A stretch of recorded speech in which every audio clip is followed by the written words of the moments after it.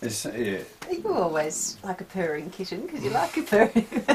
She's like a big yeah. cat. I'm just, pick, I'm just quietly sitting here picking myself up off the floor. I'm struggling, Jerry. I'm struggling. That's the first time a man's gone to pieces in front of you, Jerry Hall. I, I think not. Yeah, probably not.